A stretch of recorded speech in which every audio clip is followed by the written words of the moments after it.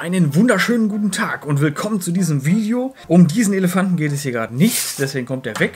Wir nehmen uns diese Karte hier wieder und nein, er steht nicht vor der Seite, weil ich komplett bescheuert bin, sondern weil ich das hier falsch drauf gedruckt habe. Also das ist eigentlich die Seite, auf der ich zeichnen sollte. Deswegen habe ich mir gedacht, brauche ich einfach eine vernünftige Verwendung für diese Karte.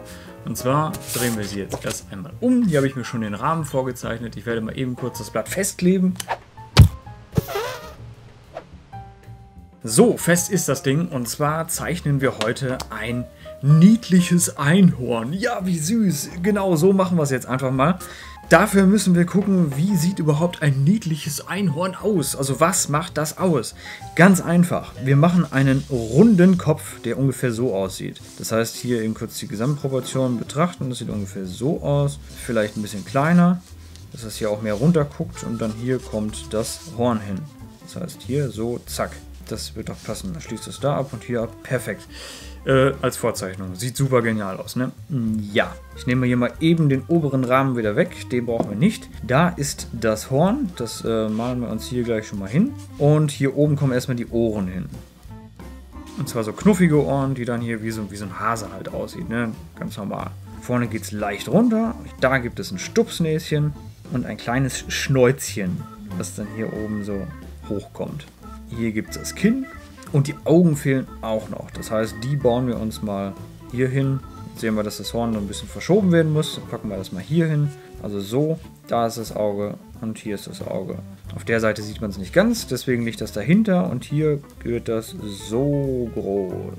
Und in dieses Auge kommt die Pupille. Ungefähr so sieht der ganze Spaß dann aus. Hier vorne sind die Nüstern. So ein Ding hat natürlich auch äh, Atemwege, muss man ja, darf man nicht vergessen.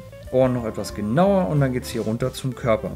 Wie sieht so ein Teil denn überhaupt aus? Mann, was hat das hier für einen Körper? Also erstmal geht es hier so runter und schließt hier hinten ab. Sagen wir so. Jetzt wäre das ja kein süßes Einhorn, ne? wenn es ein ganz normale Einhornbeine hätte, so wie ein Pferd das hat. Deswegen geben wir dem Ganzen so Einhornstampfer. ja, äh, das ist ist doch klar, oder? Das ist jetzt ein Einhornstampfer. So, äh, hier oben machen wir vielleicht noch eine kleine Mähne hin. Irgendwie so. Ja, und dann ziehen wir das ganze Ding mal eben schnell durch. So, das wäre das Einhorn und das malen wir jetzt mal eben schnell aus. Diesmal nicht mit Aquarell, sondern nur mit Buntstiften. wir geben dem Ganzen so ein, ja, Babyblau, sage ich mal.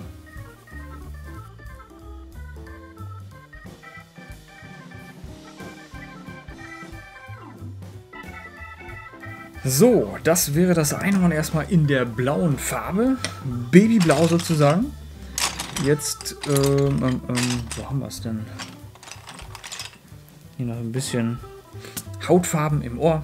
Ich denke, das Horn, das machen wir auch Hautfarben.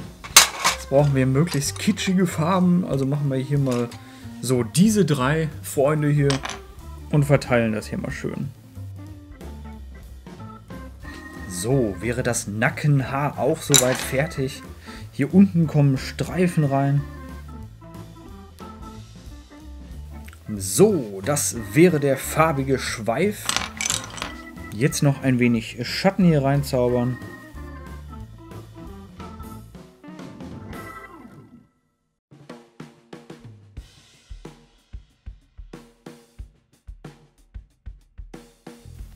Das ist das niedliche Einhorn auf der Postkarte und ähm, ja, das war's. Schon. Das ging wirklich schnell. Also ähm, ja, im Vergleich zu den anderen Projekten ist das wesentlich einfacher, was die äh, Konturführung und den ganzen Kram angeht. Und es war auch nichts mit Aquarell dieses Mal, also einfach eine Buntstiftzeichnung. Von daher auch halb so wild.